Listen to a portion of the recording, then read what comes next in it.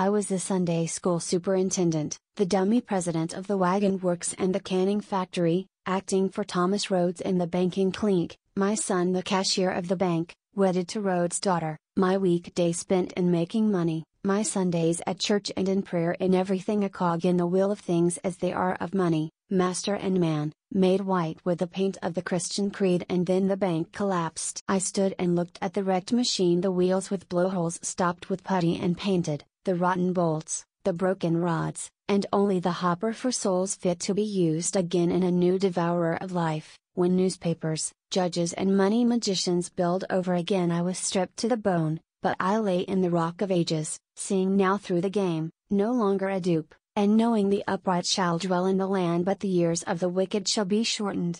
Then suddenly, Dr. Meyers discovered a cancer in my liver. I was not, after all, the particular care of God. Why? Even thus standing on a peak above the mists through which I had climbed, and ready for larger life in the world, eternal forces moved me on with a push,